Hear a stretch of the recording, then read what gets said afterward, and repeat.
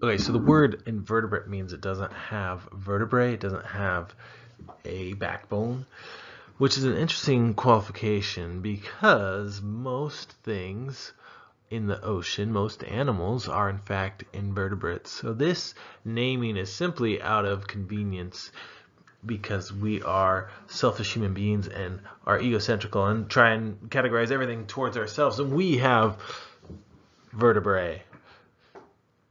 But um, it's also very hard to classify because it's so diverse. But the this is the cool stuff, right? This is the animals. These are the things that live in the sea. So 97% of animals are invertebrates. And they have um, all major animal groups represented in the marine community. So we can find um, so many different things in the marine environment that a lot of times we can't find in the terrestrial environment. And so a lot of times when people are are studying invertebrates, oftentimes they are studying the invertebrates which are in the ocean. Uh, several of these, like I mentioned before, are only found in the marine environment and are not found on land. So let's take a step back and talk about animals in general. Animal is a hard classification to get at, but it's a lot of things and then it's a few things that it's not. So one, they're multicellular organisms. Multicellularity allows us to specialize in organs and tissues and things. They are heterotrophic, meaning we can't make our own food through photosynthesis or chemosynthesis. Um, we have to eat other things. Uh, all animals do. They have aerobic respiration, which means they have mitochondria, and that allows us to use oxygen for energy rather than anaerobic bacteria which don't. We reproduce sexually, asexually, sometimes both.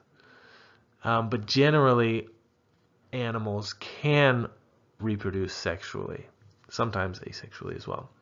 Most can move during some part of, part of their life cycle or are motile, and their embryonic development is similar and unique. All right, so first question, and these questions are going to pop up throughout this lecture and will be used for your uh, quizzes. One, what are three characteristics of animals? So what you would do is refer back to that list and put in those three characteristics. Or another way you could ask this, which of these characteristics are not um, found in animals? So one of the ways you can classify organisms is by their body structure. And one of the body structures we use to categorize animals are their symmetry, how they can be split into equal halves, essentially.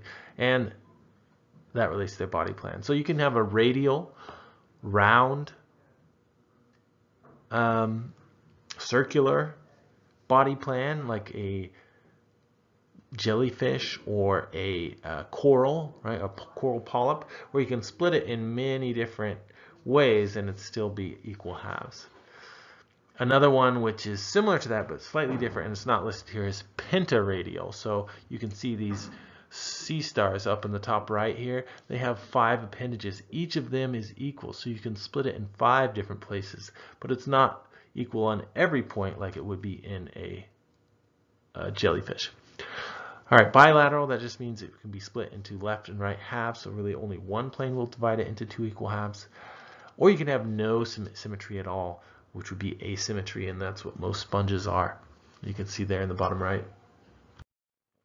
So what are the symmetries of these three organisms? We have a sea star, a sponge, and a flatworm.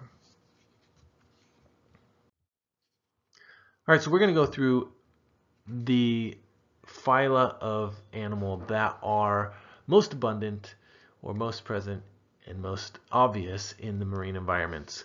The sponges, cnidarians, flatworms, and annelids. So we'll start with, oh, sorry. And then we also have the mollusk, arthropods, echinoderms, tunicates, and lancelets.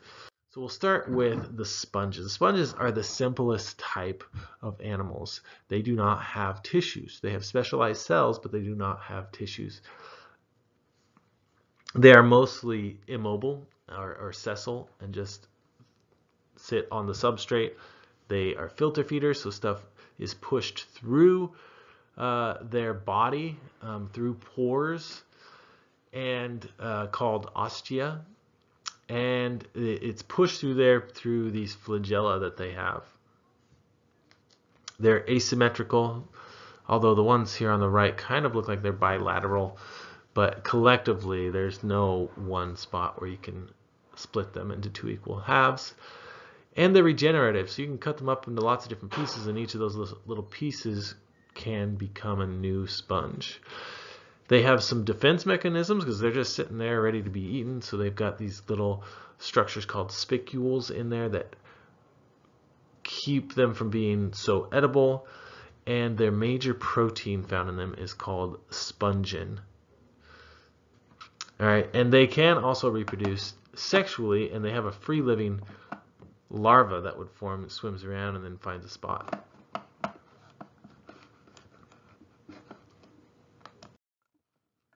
All right, so here's uh, the life cycle of a sponge. You can see it has all these pores here. There are eggs that are produced with on the inside. Uh, sperm are released by another sponge somewhere else. They will go in and fertilize this egg, and then it will turn into this larva, find a spot, settle down, and become a full-grown uh, sponge. All right, what are the flagellated cells called of sponges? Question number three. You can actually find the answer right here. They're also called collar cells. So good luck with that. All right, Cnidaria. They have radial symmetry. Um, and this one actually does not seem to be very radial, the picture we have here. But there are two body forms generally in their life cycle. A cnidarian will have a medusa and a polyp uh, form, um, but one of them will often be dominant. So jellyfish, the medusa form is dominant. In corals, the polyp form is dominant. They are also characterized by these stinging cells called a cnidocyte, which hold within them nematocysts, which are have little poison inside of them and will sting and hurt and kill their prey, but also it can be a defense mechanism. They have a basic nervous system, so they do have tissues, um, but their digestive system is very simple and not differentiated between their respiratory system. All right, so again, here's the Medusa form. It's free-floating plankton form. Uh, the larva that it creates is called a planula. We, we discussed this in class before. Um, it can bud for asexual reproduction, so basically a little piece of it might come off and fall over uh, into a different area, or they can also go through fission, which is where they will split into two equal halves. But polyps and budding is another way in which they can reproduce. All right, what are the two stages of cnidarians? Question number four. All right, we're going to go through the different types of cnidarians, the different classes. So Scyphozoa, these are your jellyfish. Um, generally are medusa in form. They only have a polyp for a short time in the reproductive life, and all of them are marine. So there's no freshwater jellyfish. And again, they are plankton, so they can move, but they can't fight against the current, and they often have very powerful, powerful stings on them. All right, uh, anthozoas, corals, anemones, sea fans, and sea pansies. So these are polyp dominated and generally create this large colony, such as your coral structures, and secrete calcium carbonate, which forms that hard part of the calcium structure. All of them are also green. Hydrozoans um, are also mostly polyp with a reproductive medusa. Physalia is one of these that has a gas-filled float, which we talked about before, and it would be considered then pleuston. Um, and there are some freshwater species in Hydrozoa as well. All right, which class do corals belong to? Question number five. All right, now we're moving on to something else. Flatworms, also known as platyhelminthes, they um, are can be infectious agents such as flukes and tapeworms. Some um, are parasitic, but others just live on their own. They have a well-developed reproductive system, um, and they have a very basic nervous system um, and three distinct tissue layers, and they are bilaterally symmetrical. You can also cut them in a bunch of different ways. The planarians, which is in the bottom right here, are these uh, research animals which are um, you can do lots of different things with them. You cut their head and they'll grow two heads. You can cut them in half and it'll grow two new ones. And there's other really cool stuff you can do with them. All right, marine flatworms, also called turbellarians, a lot mostly are free-living carnivores which are very colorful and have a lot of distinct patterns in them. Uh, they can detect light and dark with their eye spots, but otherwise they can't see very well, and most of them are, are really small. Tapeworms are parasitic, and these can be found in freshwater um, marine or in yourself right? So they have a segmented body. Each little segment um, builds off of it as it grows. It has this uh, head, which is different than all the segments, with a sucker or a hook, which it used to embed itself into the wall of the intestinal lining of its host. And then it just absorbs nutrients as they pass through the digestive system. So they don't have a digestive system of their own. All right, what type of flatworms have a scolex for attaching to the inside of intestines? Just talked about this. All right, next, segmented worms, also known as annelids. So that this is one confusing thing. The parasitic worms we just talked about look like they're segmented. Well, they are segmented, but that's generally not a characteristic of flatworms. Whereas all annelids are segmented.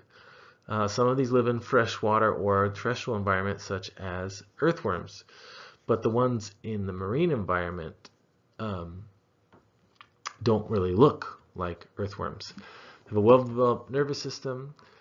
They have external and internal segments and a closed circulatory system, so they have uh, some type of, of blood flowing through them, and they are bilaterally symmetrical. The repeating units um, have um, on them setae, okay, which are bristle-like structures that extend from the sides. Okay, so you can see that in the top right picture. There's the bristles or the setae extending from the parapodium, which is basically um, paired feet-like structures. And they can help the worm stay in place Okay, we've seen these guys before, the polychaetes. They're the largest group of annelids, also most diverse, and they were also found in hydrothermal vents. They can form these calcareous tubes, um, uh, such as the tube worms, and they are generally carnivorous or deposit feeders waiting for things to fall on top of them, which they will eat. Okay, oligochaetes, these are generally terrestrial, so we're going to mostly ignore them. Um, but you, uh, their setae are not as um, abundant or as obvious as the polychaetes. All right, which group of annelids would you more likely find in hydrothermal vents and which would you find in burrowed in shallow waters? So you can answer that. All right, mollusks. They mean they're Name literally means soft body. Have a basic plan with a head and a muscular foot. And they have a mantle. The mantle secretes the shell and is also important for some other physiological functions. And a lot of them have a shell, like snails, snails and chitons and clams, um, but not all of them.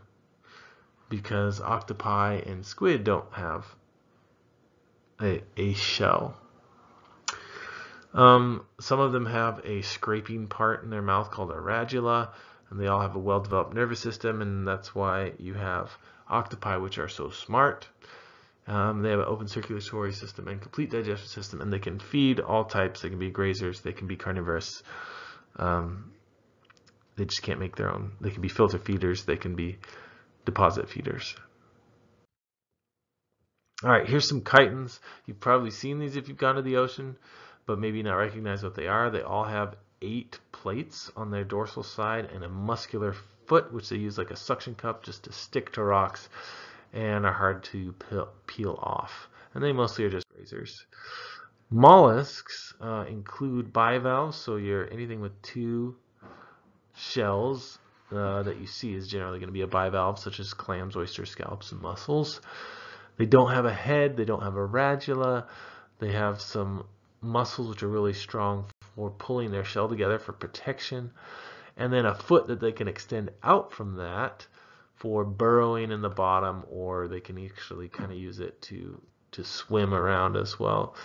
Um, they may also have a siphon for circulating water if they are filter feeding, and gills for breathing.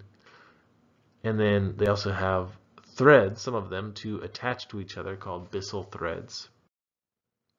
All right, here's the body plan. You can see from the side they actually have a pretty cool internal anatomy, although they look pretty simple from the outside, including um, reproductive structures, circulatory structures, digestive structures, and so on.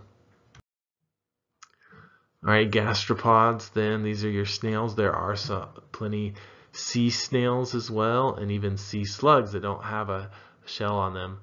Um, and they are called nudibranchs. They do have a radula, which they use to um, browse for substances, and uh, some of them can be highly toxic and poisonous and can kill you. So, um, especially if they're brightly colored, you should probably leave them alone if you see them in the ocean. All right, cephalopods, as we mentioned, can be really smart, such as the octopus, but it also includes the nautilus, cuttle, cuttlefish, and squid. All of them are marine. They have jet propulsion, so they suck in water and then push it out in a specific way. Um, they have a thick mantle that covers their body, but no uh, shell. Well, at least the octopi don't. And then they have these little beak-like jaws, which they can use to crush prey and some of them have tentacles which with little suction cups on them and ink for defense. Alright, so question 8 is a matching one. Match the description with our four different groups of mollusks. Alright, arthropods. Insects belong to arthropods, but there's a lot of marine um, invertebrates, which are also arthropods. About 1 million species known, so they're very diverse, very successful. In, in fact, 75% of all the animals on the earth are arthropods, mostly because of insects. They have this specialized protein called chitin in their exoskeleton. They molt. You can see a crab molting in the top right there. They have jointed appendages, which is also um, allowed them to specialize appendages and, uh, and is one reason why they're so diverse and successful. They have segmented body parts, including head, thorax, and abdomen. Then in the one on the bottom here are little shrimp. Uh, it has the head and thorax combined. Um, they also have specialized eye and sense organs, gills for respiration, and all types of feeding strategies. So they're very diverse, have lots of different types. Some of the types that are marine include the crustaceans. There are some terrestrial crustaceans, but most of them are marine. They have two pairs of antennae. The head and the thorax are combined into the cephalothorax, and then their body is called a carapace. And again, they have a large array of different types of appendages, such as the lobster claws, to little feet, to um, moving and feeling and all the other things as well. So this includes copepods, barnacles, amphipods, isopods, crabs, shrimp, lobsters, and etc. All right, an arthropod's exoskeleton is made out of a carbohydrate called blank. It must be shed in a process called double blank.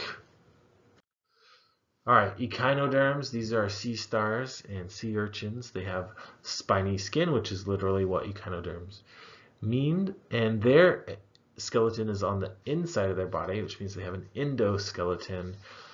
They also have a water vascular system, which you see there on the bottom right, basically a bunch of tubes with water that they can compress and move around.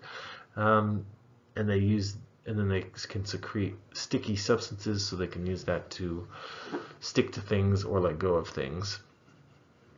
They have gills for respiration.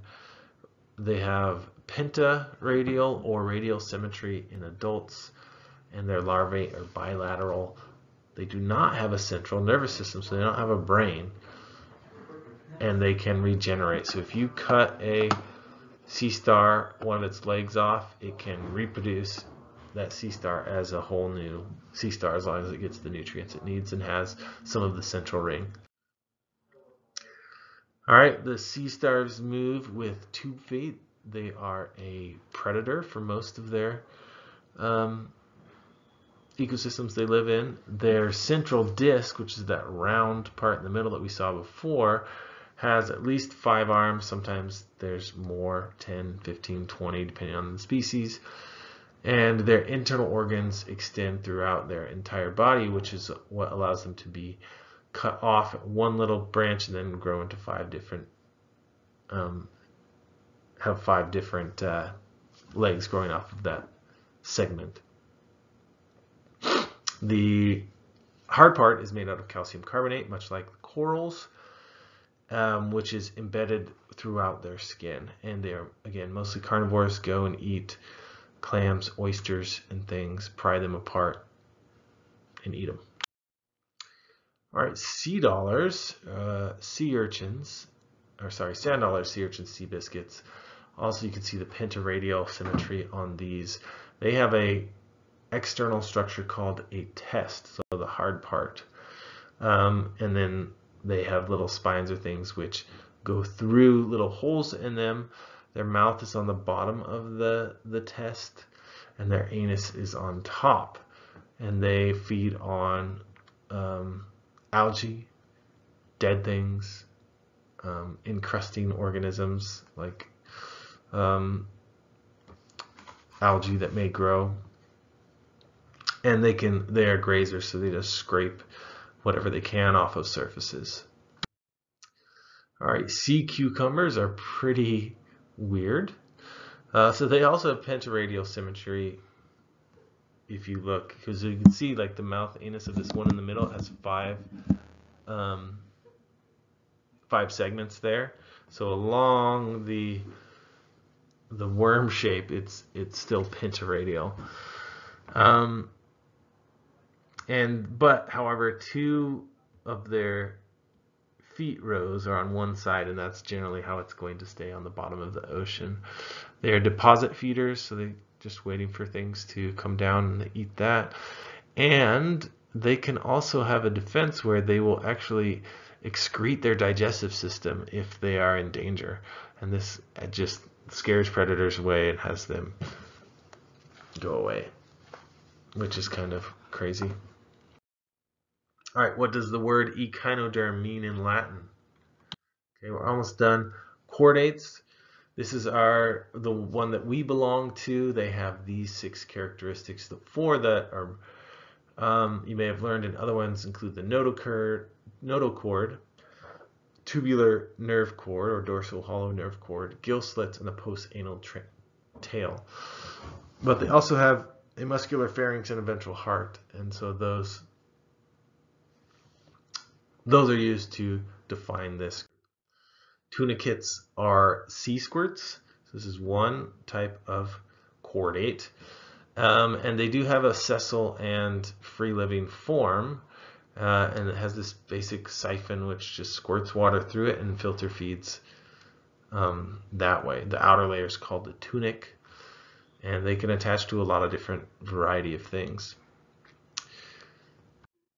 Okay, this um, very primitive organism is called the lancelet.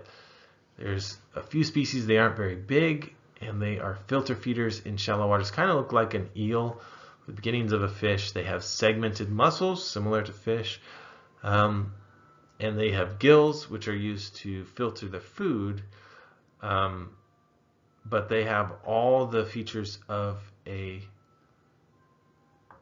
chordate as an adult, whereas the sea squirt only had them as a larvae. All right, so this is the table found in your book with all the characteristics of those major phyla that we just went over. We'll get to look at some of these in class and have some quizzes before you come to class. All right, that's it.